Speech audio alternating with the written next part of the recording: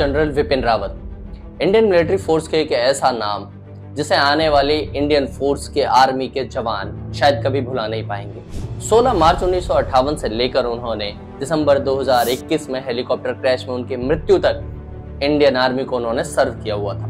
General Vipin Rawat four star general थे और defence staff के पहले चीफ थे वो। General Vipin Rawat staff committee के चीफ के सत्तावनवे चेयरमैन रह चुके हैं।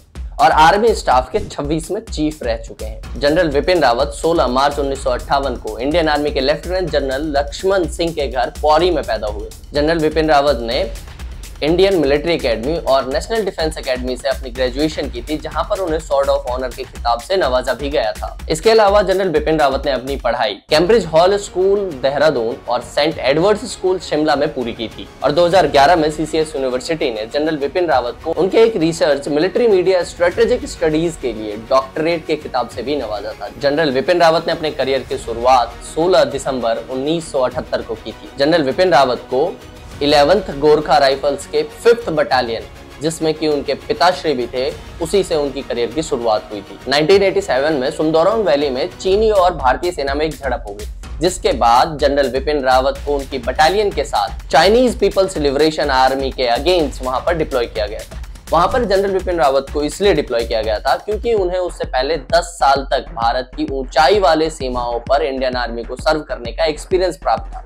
और वो अपने इस एक्सपीरियंस के तहत, अपने इस काम में पूरी तरह से एक्सपर्ट थे। उन्नीस के युद्ध के बाद ऑपरेशन फाल्कन के तहत पहली बार ऐसा था जब इंडियन और चाइनीज़ आर्मी एक दूसरे के आमने सामने समदुरोंग वैली में खड़े। As a major general Bipin Rawat ने उरी जैसी जगह पर जम्मू और कश्मीर जैसी सिचुएशन में भी इंडियन आर्मी की बटालियंस को लीड किया हुआ था। उसके बाद उन्होंने defence service staff college Wellington से कोर्स किया और जिसके बाद आर्मी हेडक्वार्टर के मिलिट्री ऑपरेशन डायरेक्टरेट में उन्हें general staff officer grade two के पद पर तैनात कर दिया गया था। एक कर्नल के तौर पर अपने ग्यारहवें गोरखा राइफल्स के फिफ्थ बटालियन को उन्होंने किबिथू में एलएसी पर लीड किया था, जिसके लिए उन्हें 26 जनवरी 2001 को विशिष्ट सेवा मेडल से भी सम्मानित किया गया था। 26 जनवरी 2005 को जनरल विपिन रावत को अपने कर्तव्य के प्रति उनके समर्पण को देखते हुए उन्हें सेना मेडल से भी सम्मानित किया गया था। इसके बाद उन्हें प्रमोट करके ब्रिगेडियर बना दिया, जिसके तहत उन्होंने सोपोर में सेक्टर पाँच के राष्ट्रीय राइफल्स की कमान संभाली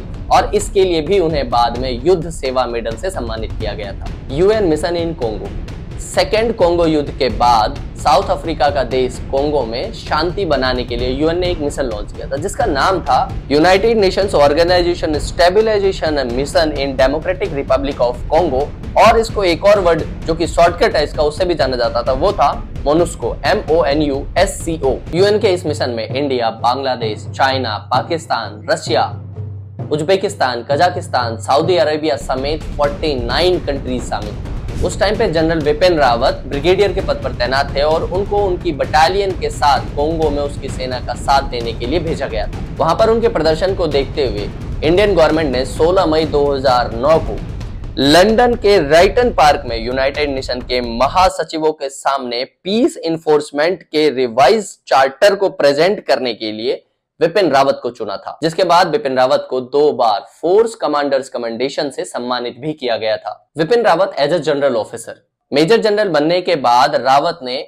उरी के नाइनटीन इंफ्रामेट्री डिविजनल का कार्यभार भी संभाला था, जिसके लिए उन्हें 26 जनवरी 2013 को अति विशिष्ट सेवा मेडल से भी सम्मानित किया गया था। 2015 म्यांमार स्ट्राइक्स इस टाइम तक विपिन रावत को प्रमोट करके लेफ्टिनेंट जनरल बनाकर थर्ड कॉप्स का जनरल ऑफिसर कमांडिंग बनाया गया था, जिसका हेडक्वार्टर दीमापुर है। जून 2015 में United Liberation Front of Western South East Asia के मिलिटेंट्स ने धोखे से हमला करके 18 आर्मी के जवानों को मार गिराया था, जिसका जवाब इंडियन आर्मी के पैराशूट रेजिमेंट के 21वीं बटालियन ने दिया था, जो उस टाइम पे दीमापुर के थर्ड कॉप्स के अंडर ही आता था और उसका लीड कर रहे थे lieutenant general Vipin Rawat. Parachute regiment के इस कार्रवाई के बाद लेफ्टिनेंट जनरल विपिन रावत को 26 जनवरी 2016 को उत्तम युद्ध सेवा मेडल से फिर से सम्मानित किया गया था। थर्ड कॉप्स की कमान छोड़ने के बाद उन्हें महाराष्ट्र, गोवा और गुजरात का जनरल ऑफिसर कमांडिंग बना दिया गया। और थोड़े ही टाइम बाद 1 जनवरी 2016 को विपिन रावत जी को इस पद से हटाकर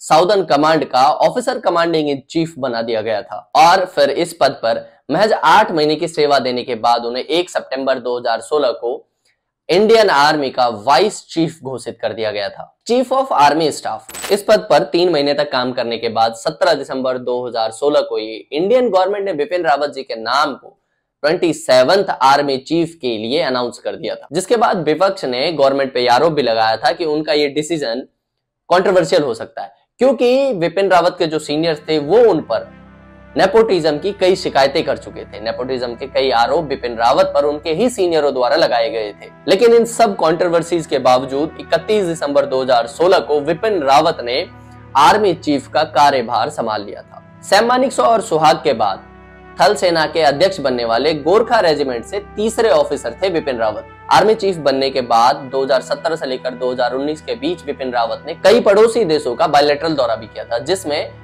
Vietnam, US Russia Ukraine, Nepal, Bhutan जैसे कई सारी कंट्रीज़ शामिल है। जनवरी 2020 में विपिन रावत को इंडियन आर्म फोर्सेस के डिफेंस स्टाफ का चीफ बनाया गया। ये इंडियन आर्म फोर्सेस के डिफेंस स्टाफ के पहले चीफ थे और 2021 में अपनी मृत्यु तक इस पद पर वो बरकरार थे। 8 दिसंबर 2021 को विपिन रावत अपनी पत्नी के साथ इंडियन आर्मी के एम आई हेलीकॉप्टर से डिफेंस सर्विस स्टाफ कॉलेज में एक लेक्चर देने जा रहे थे।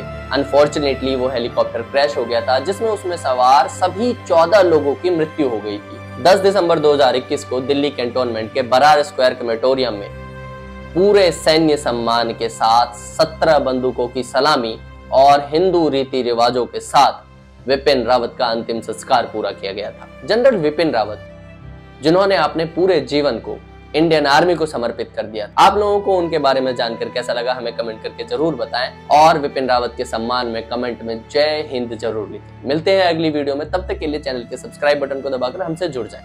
धन्यवाद।